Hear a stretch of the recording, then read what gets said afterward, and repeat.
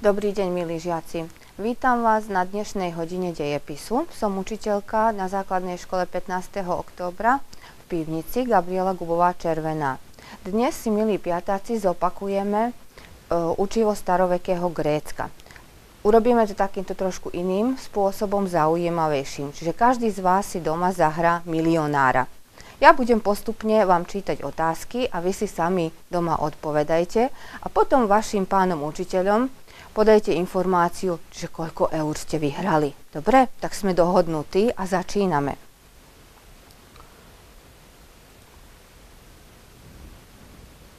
Že staroveké Grécko, opakujeme si učivo. Trošku to pôjde pomaličky, kým to nabehne.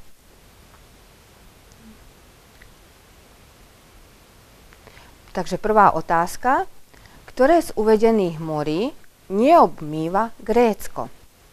Stredozemné more, Jonské, Norské, Egejské. Ak ste si to rozmysleli, tak ja budem teraz odpovedať za vás, dobre, a vy si zaznačte. Norské by bolo správnou odpoveďou. Ak sme boli správni, tak každý z nás vyhráva 100 eur. Druhá otázka. Ako sa nazývali štáty, ktoré vznikali na území Grécka v staroveku? Teritoriálne, mestské, územné, zjednotené. Správna odpoveď by bola mestské. A vyhrávame 200 eur. Kde bola najslavnejšia veštiareň? Atény, Sparta, Troja, Delphi. A správnou odpoveďou by boli Delphi. 300 eur sme vyhrali, vidíte, dobre zarábame. Ako sa nazýval štát, kde obyvateľia nepracovali a ich povinnosťou bolo bojovať vo vojnách? Sparta, Knossos, Mykény, Atény. A čo by bolo správne? Sparta. Slovo demokracia znamená vláda otrokov, vláda kráľov, vláda ľudu, vláda detí. No čo si myslíte? Vláda koho? Vláda ľudu.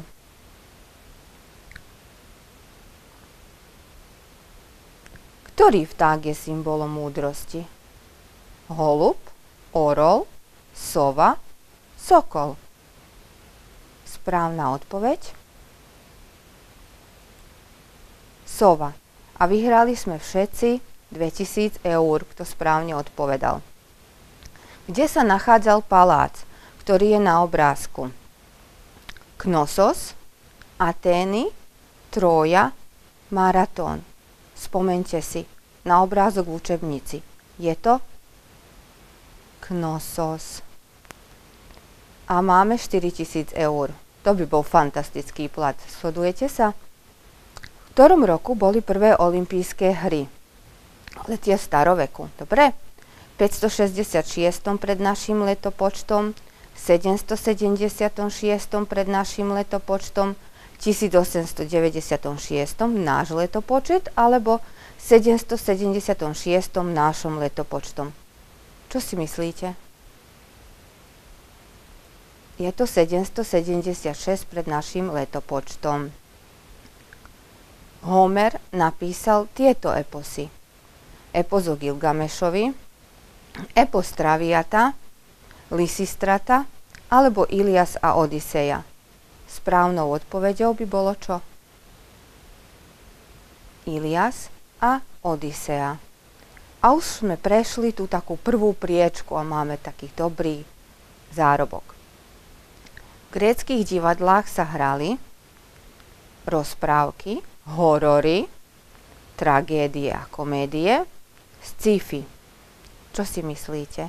Alebo máme dať obecenstvo, aby nám pomohlo zavolať si? Hm, ale skúsime to bez pomoci, lebo to všetci sme zvládli dobre, takže skúsime, budú to tragédie a komédie. Typickými znakmi gréckých chrámov boli trojuholníková strecha a stĺpy, stĺpy a žiadna strecha, stĺpy a väža. Gréci chrámy vôbec nestavali. No máte tu jeden na obrázku, takže čo vám ten obrázok pomáha? Rozmyslíte si. A správna odpoveď je trojuholníková strecha stĺpy. Kde bolo sídlo gréckých bohov? Na Kriváni? Na Mount Evereste? Na Olympe? Či na Javorníku? No čo je správna odpoveď? Samé meno vám hovorí olympijské hry a odpoveď by bola na Olympe.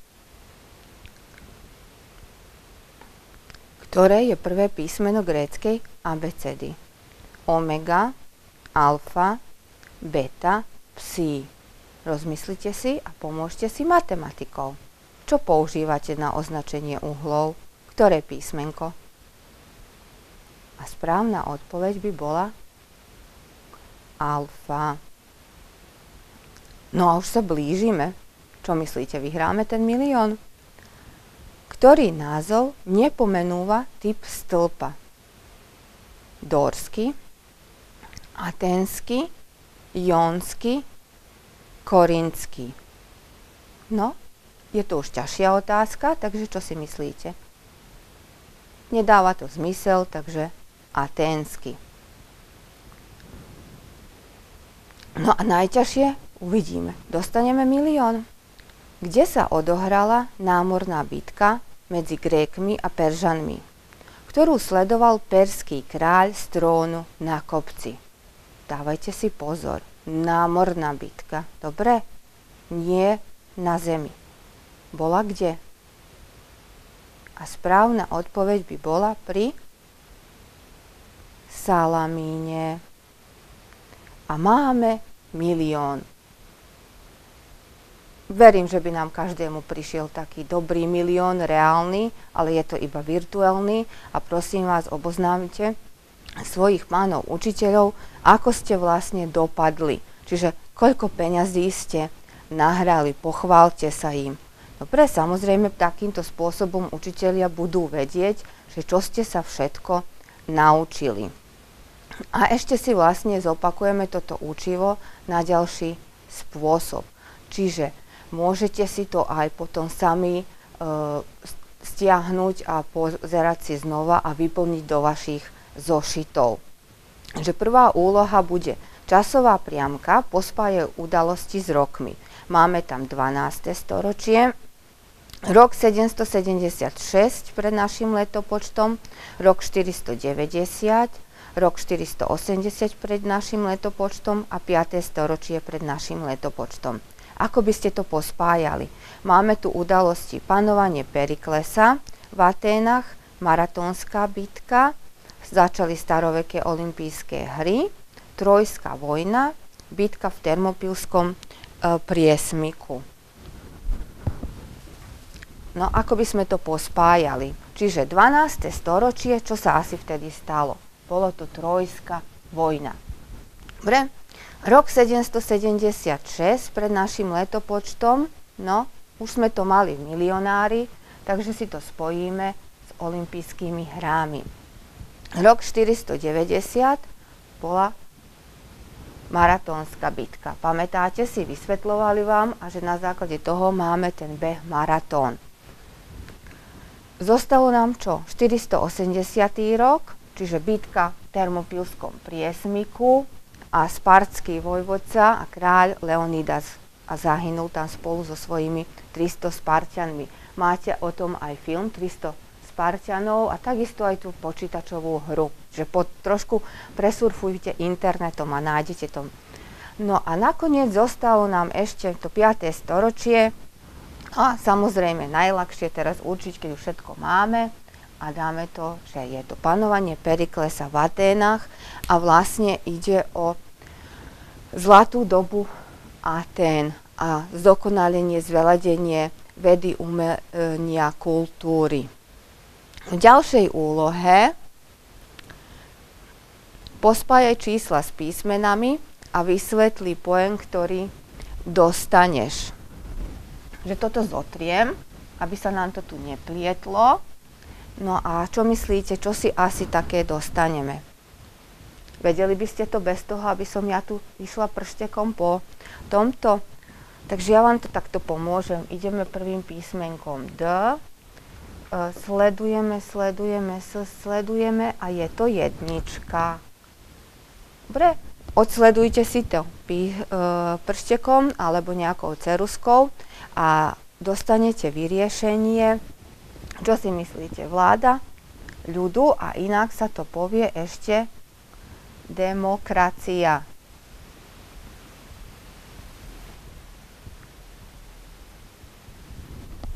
Všetci dostali takéto vylúštenie? Boli sme úspešní? No, pokračujeme. Čiže aj pojem som vám zároveň vysvetlila, že ide o vládu ľudu alebo národa v Aténach. No, teraz budeme mať ďalšiu otázku. Ktoré disciplíny boli súčasťou olympijských hier? Tých starovekých. Dobre, teraz nám tie nové olympijské hry, ktoré mali byť v tomto roku, asi odsunú, ale v staroveku ľudia nešportovali ani v basketbale, ani vo futbale, ale športovali v behu, no, v pestiarstve, zápasníctve, pretekali sa na trojkolkách, hádzali oštepy. Dobre? Takže Takéto odpovede by ste tam mali mať vo vašich zošitoch. V ďalšej otázke, aký je rozdiel medzi Spartou a Atenami? No čo by ste tam napísali? Ja by som tam asi dala, že Sparta uh, bola aristokratickým štátom, v ktorom panovala aristokracia a ostatní nemali žiadne práva. Atény mali demokraciu, čiže už tam panovala aj aristokracia a démos, čiže národ. Ďalším rozdielom by bolo, že Sparta bola vojenskou, povedzme, mocnosťou, že venovali sa predovšetkým výcviku a, a bojovému umeniu a Atény boli predovšetkým uh, upriamené na rozvoj vedy, kultúry, umenia. Ale ne, nehovoríme o tom, že neboli aj vojensky veľmi zdatní Atenčania. No a v ďalšej úlohe, ktorá sa nám tu objaví, je, aby sme napísali najznámejších vedcov z obdobia Grécka matematikov. Čiže trošku teraz pomôžeme aj našim matematikom. Čo si myslíte, kto boli takí najznámejší? Bol to Pythagoras,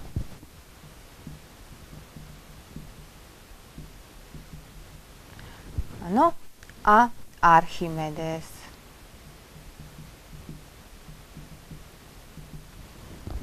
Ja nie som matematičkou a väčšinou by povedali, že som sa s ňou pohádala. Takže Pythagoras, to sa budete učiť Pythagorovú vetu. A Archimedes, no budete sa o ňom učiť aj na fyzike a na matematike. A ďalšiu správnu odpoveď budeme dopisovať takisto v týchto úlohách. Trojská vojna začala pre koho? Pre krásnu, zasa žena stojí za tým, že chlapi sa za ňu o ňu bijú, takže bude tam tá Helena. O tejto trojskej vojne si môžete potom doma pozrieť aj taký veľmi dlhý film. Kleisthenes ukončil obdobie tyranie a položil základy čoho? Už sme to mali aj v milionári, čiže demokracie.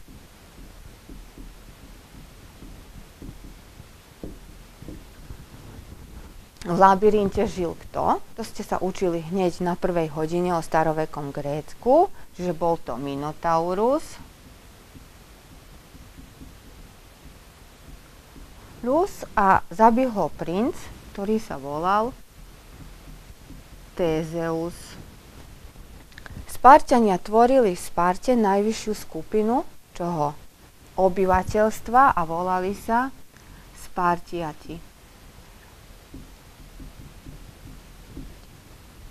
Prvým básnikom bol kto? Homer.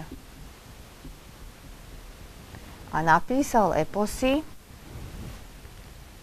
Ilias a Odisea. Grécké štáty boli mestské štáty a nazývali sa aj polismi. Štátne zriadenie Sparte bolo aristokratické,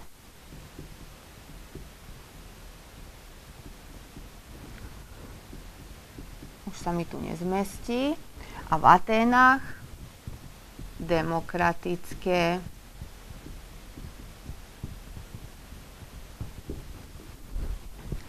Obyvateľstvo Sparty bolo rozdelené na, pamätáte si tú skupinku troch podelení, čiže nebudem tu písať, lebo sa to asi tam nezmestí, takže Spartiati, Periokovia a Heloti. Spartiati boli aristokracia, ktorá pánovala štátom, Periokovia boli národ, čiže remeselníci, sedliaci, a Heloti boli otroci, ktorí boli najnižšou skupinou obyvateľstva a nemali žiadne práva. V obyvateľstvu Aténach bolo podobne rozdelené, že bola tam aristokracia, bol tam národ alebo démos a otroci. No lenže ďakujúc svojim bojom, národ alebo démos si bojoval svoje práva a mohol sa tiež zúčastňovať spravovania Atén. No, a zastali sme pri Gerúzii, ak si pamätáte, čo je Gerúzia.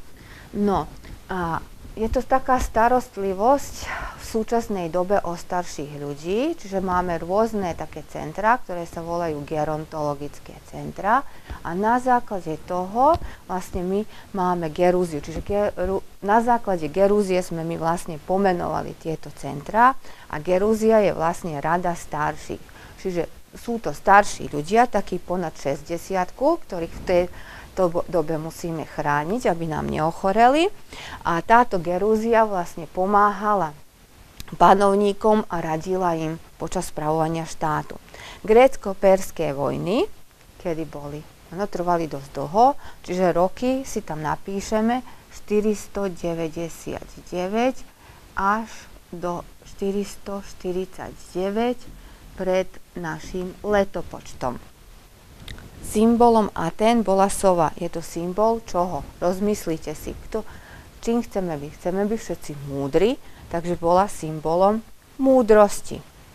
Vojna medzi Atenami a Spartou sa nazýva aj Peloponéska vojna.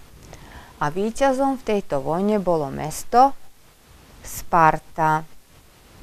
No, tu sa nám znovu zopakujú tie športy, ktorých sa súťaží na olympijských hrách.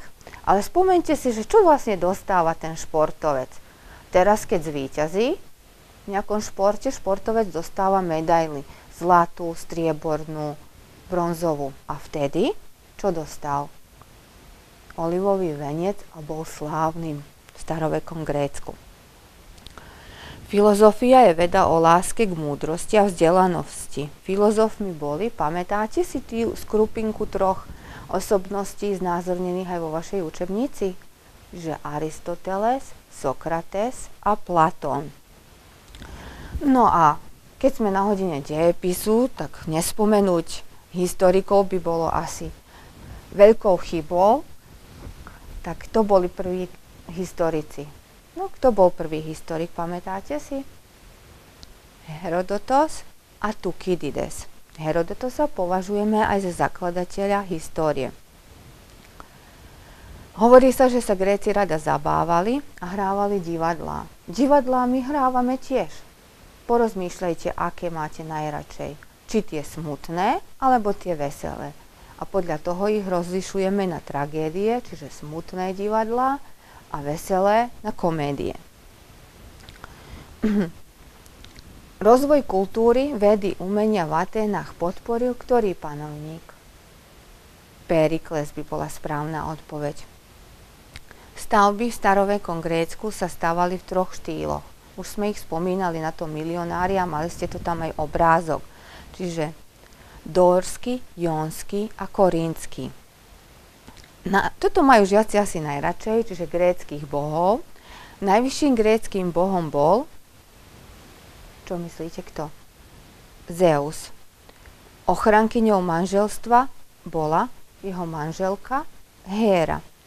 Zamilovaných ochraňovala bohyňa, ktorá? Kto je z vás zamilovaný? Hm? Afrodita. Prírodu chránila ktorá bohyňa? Demetra. Múdrosť, vzdelanie podporuje už spomínaná veľakrát Aténa. A pri mori nás ochráni každý rok Poseidon. No a keďže sme na minulej hodine urobili helenizmus, tak si zopakujeme trošku aj o helenizme. Alexander bol panovníkom ktorej krajiny? Správna odpoveď by bola asi Macedónsko a bojoval proti Peržanom, čiže Perzii. No a do týchto políčok napíšeme, ako sa volá obdobie panovania Alexandra Veľkého. Pamätáte si na to? A keď to napíšeme, dostaneme čo? He, le,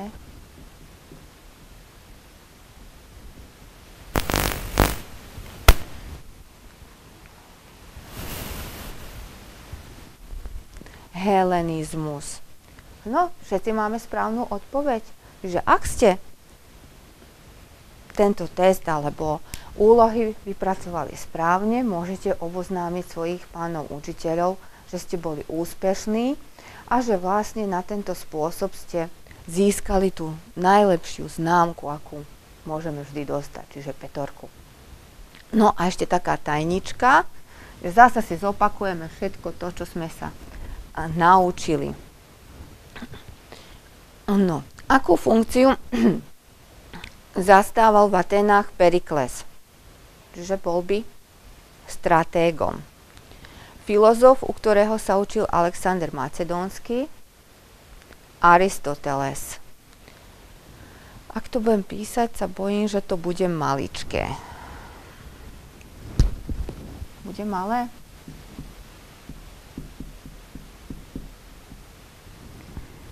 Dáme tu Aristoteles.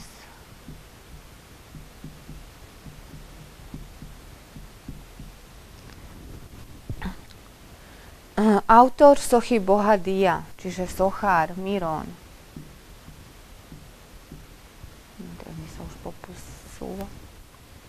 Najbohatšia skupina ľudí v gréckých mestských štátoch. Aristokracia.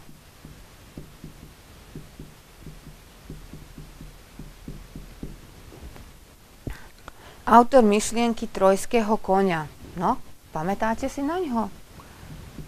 Odysseus. V Delfách vznikla najznámejšia, najznámejšia veštiareň. Veštiareň. Chrám bohyne Atény na Akropole. No,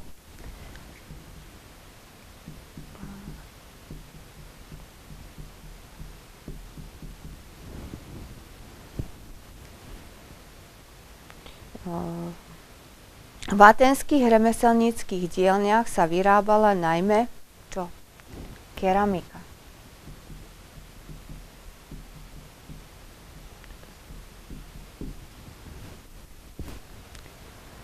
Mestský štát známy levou bránou. Mikény. Školy pre starších chlapcov máme aj my, priamo tu v Petrovci. Čo je to? Gymnázia. Výťaz Peloponéskej vojny. Sparta. Autor eposov Ilias a Odisea. No teraz sa to posunulo, takže už ďalej nebudem písať. Je to Homer, vláda ľudu, demokracia. E, pri ťažení Alexandra Veľkého vznikla nová kultúra, a to helenistická kultúra. A sparský kráľ, ktorý padol v Termopilách, Leonidas. No aké vylúštenie ste asi uh, dostali? Malo by byť vylúštenie staroveké Grécko, keďže mne sa to posunulo, tak dúfam, že vám to dobre vypadlo, keď ste to urobili. Takže ja vám ďakujem za pozornosť. A mám nádej, že ste si zopakovali učivo o starovekom Grécku. Usilovne pracujte, posielajte domáce úlohy svojim pánom učiteľom, sledujte vysielania a dávajte na seba pozor. Ja vám ďakujem.